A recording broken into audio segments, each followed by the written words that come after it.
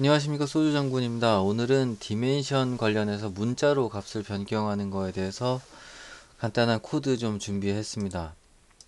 어떤 걸 소개할 거냐면요. 지금 치수 이렇게 작성해 놓은 것에서 이렇게 문자로 대체하는 이런 내용 그 다음에 접두어 접미 위아래 문자 필드의 값들을 어, Python 스크립트를 사용해서 값을 넣는 방법 그 코드를 좀 소개시켜 드리려고 합니다.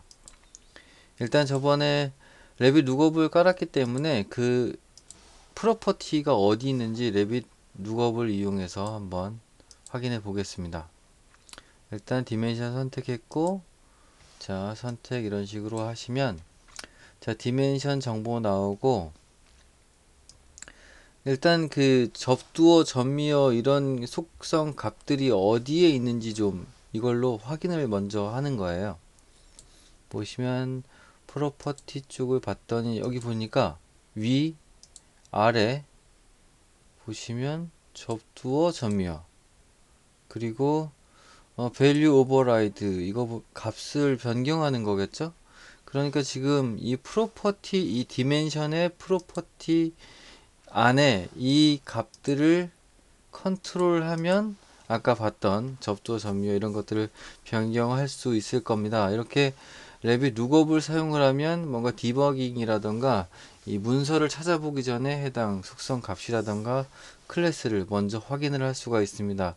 일단 여기서 확인이 됐으니까 정확한 건 어, Revit 이 Doc, API Docs 이 문서에서 한번 제가 미리 찾았거든요.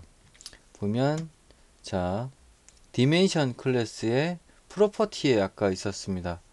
그 중에 하나를 지금 보면 value override property를 제가 봤더니 문자로 대체한다는 내용입니다. 그러니까 내가 원하는 이 치수를 문자로 대체하는 거겠죠? 보시면 이 치수가 저는 지금 5000이라고 한번 바, 바꿔 볼 거예요. 어, 뭐 주심도라던가 이런 다른 작업을 할 때 이렇게 치, 저, 원래 치수보다 다른 치수를 기입할 수 있는 그런 상황이 있으시잖아요. 그래서 저는 이걸 5000으로 바꿔보겠습니다. 그래서 문자로 대체를 해야 되니까 어, 그거에 필요한 프로퍼티가 value override 라는 걸 확인할 수 있었습니다. value override 보시면 자, 또 하나 중요한 이런 거 보실 때 중요하게 보는 건 여기 보면 get 하고 set이 있어요. 제가 교육을 하거나 이럴 때 get은 값을 어, 불러들여 올 수 있다. 그 다음에 set은 세팅할 때 많이 쓴다. 그래서 검색을 하거나 할 때 불러들여 오고 싶으면 get 뭐뭐뭐 뭐 세팅을 하고 싶으면 set 뭐뭐뭐라고 한번 검색을 하시면 됩니다. 이런 식으로 좀 많이 이야기를 합니다. 여기 보니까 get과 set 전부 다 지원을 해요. 그러니까 값을 불러올 수도 있고 값을 세팅할 수도 있다라는 겁니다. 그래서 결론적으로 이 디멘전 클래스의 value override라는 프로퍼티의 property를 사용을 해서 해당 값을 전달을 하고 지금 만이라고 되어 있는 이 값을 5000으로 바꿀 겁니다. 준비된 Python 어, 코드인 거고요. 이 모듈 import 하는 건 좀 줄였습니다. 필요 없는 건 좀 다 제거한 상황인 거고요.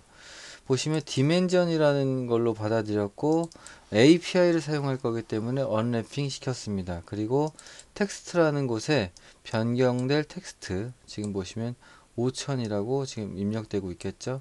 선택된 건 당연히 dimension을 선택된 dimension을 선택한 상황입니다. 그래서 보시면 transaction 열은 이유는 아시겠죠? 값이 바뀔 거니까 transaction 열어주고 열어줬고 result는 내보낼 건데 사실 내보낼 작업이 없습니다. 뭐 성공 뭐 이 정도 뭐 내보낼 수 있겠지만 뭐 지금 저는 뭐 result에 아무것도 전달하지 않았습니다.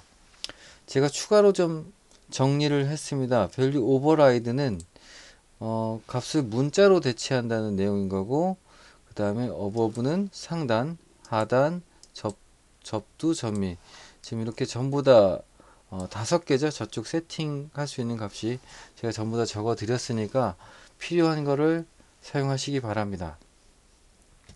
바로 실행해 보겠습니다. 상황은 어, 디멘전 만짜리 선택된 상황 그리고 전달할 전달할 문자는 5000이라는 문자입니다. 숫자가 아니에요.